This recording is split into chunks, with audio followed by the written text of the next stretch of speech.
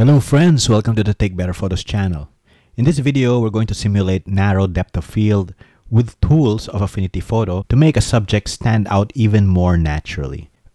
And because we're using Affinity Photo 2.0, we're going to use compound masks for even better control. So I know a lot of you are interested in compound masks, so I'm happy to do another video on this topic. So before we begin, let's review what is depth of field. So depth of field is the distance between the closest and farthest objects in a photo that appears acceptably sharp. The camera can only focus sharply at one point, and the transition from sharp to unsharp is gradual. So these are some of the characteristics of depth of field. So here's a good illustration of depth of field. You see the dog's face is acceptably sharp, and that includes the foreground as well. But if we observe the image from foreground to background, you can see that the image gets progressively more out of focus. And that adds the charm to this photo. And so what we're going to do here is simulate this effect.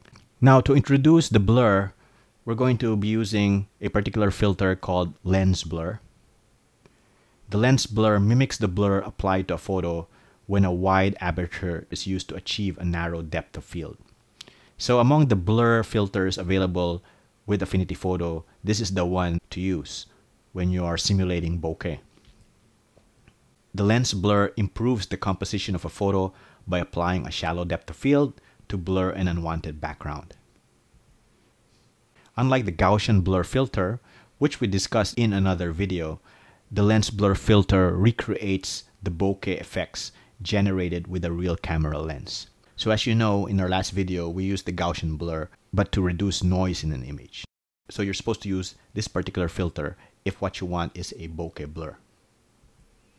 So the good news here, this can be applied as a non-destructive filter, unlike our previous video on haze removal. With the lens blur, you can apply a mask and have total control on how you want to blur the image non-destructively. So the settings of the lens blur are pretty simple. It has radius, which controls the number of pixels affected, and it has a bunch of options to improve the quality of the blur. Like if you're aware of bokeh, it simulates things like the number of blades, blade curvature, bloom threshold, and bloom factor. Now, if you don't know what this is, it's not important now. All we're going to be using is the radius setting to increase or decrease the blur. Alright, so we're going to be working with this image here. What we hope to introduce here is a sharp foreground with a progressively more out of focus background. So we're going to be having two masks here. This is why we're going to be using a compound mask. We will use one mask for the dog and another mask for the background. So let's get right into that. So the first thing we're going to do is add the lens blur. We can do that via the live filters here. And then let's just choose lens blur. There you go. So obviously, if you make the radius very large, you're going to introduce an extremely out of focus image. And it looks pretty nice. Next, let's just create a mask for the dog. Since the dog has fur, we're going to be using the Refine Mask tool to properly select the fur. If you don't know how to do this, you can watch my other video on selecting fur with Affinity Photo. But I'm going to run through this pretty fast. So as I've mentioned in that video, the first thing you want to do is to create a rough selection. Okay, so let's just do that first. Okay, I'm just going to remove the blur first so it's easier to make the selection. And so once again, I'm just going to be using the polygonal selection tool. The polygonal tool is under this freehand selection tool. Okay, I'm just going to choose polygonal selection. So you can make a rough selection. You can over select if you wish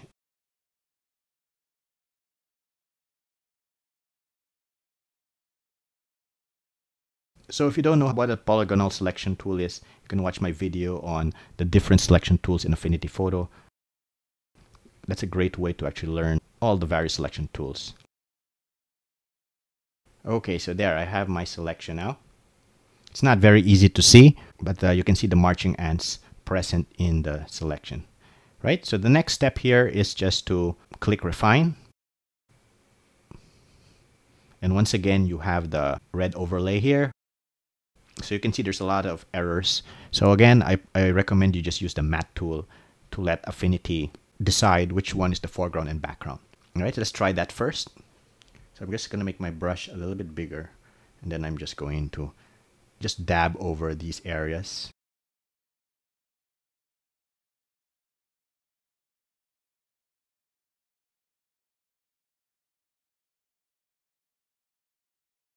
All right, that worked surprisingly well. This looks good. Now, as I have mentioned in my previous video, to allow for decontaminate colors, which will remove remnants of the background in the selection, the recommendation is to, to choose as output new layer with mask. So that is the recommendation.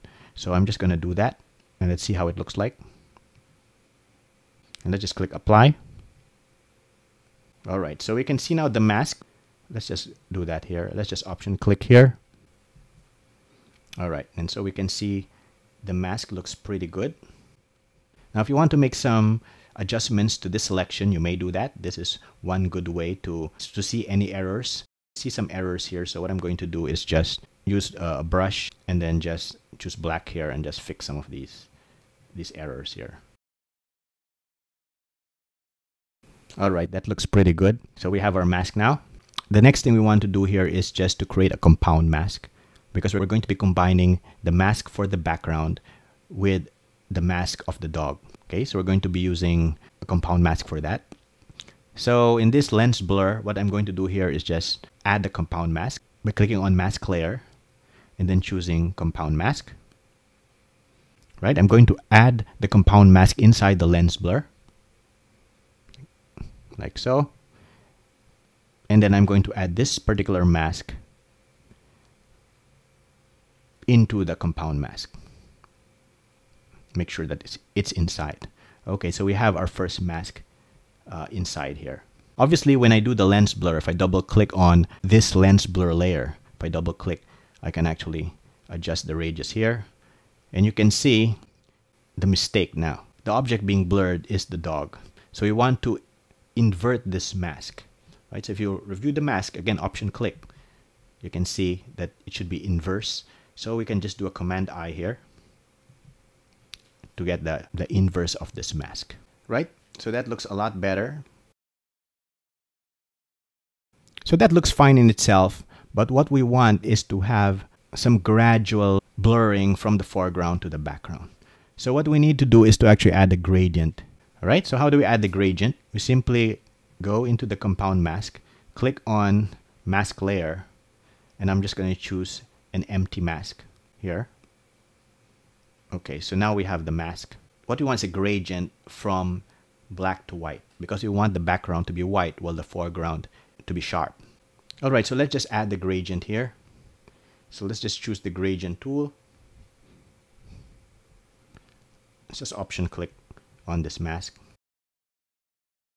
So you have to adjust this this particular tool here so that the foreground here is black while the background is white.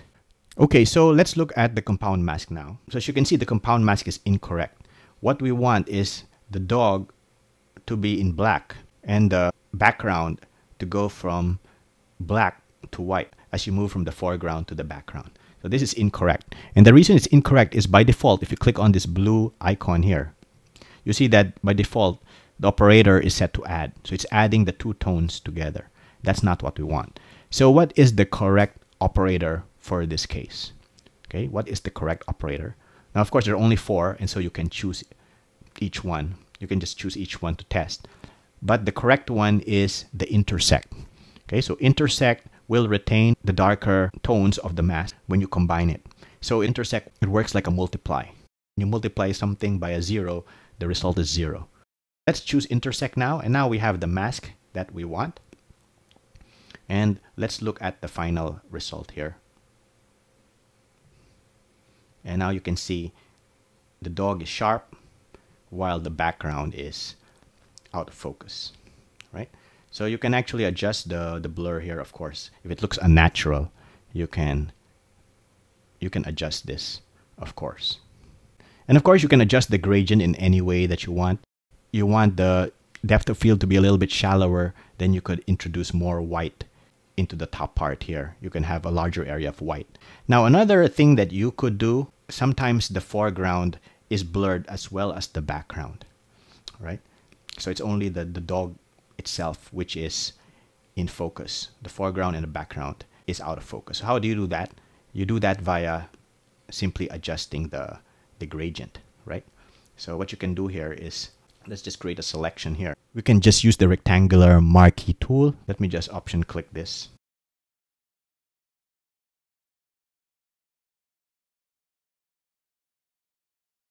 Okay, it's not perfect, but you get the idea. So what you're doing here is just keeping the middle portion sharp, right?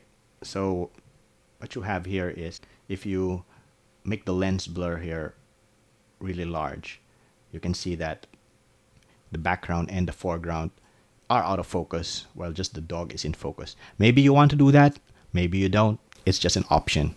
You can make the adjustments here with this gradient here. All right, so I hope you found this video helpful. Let me know in the comments if you have some other way of introducing this type of narrow depth of field. Till the next video, I'm going to see you in the next one. Bye for now.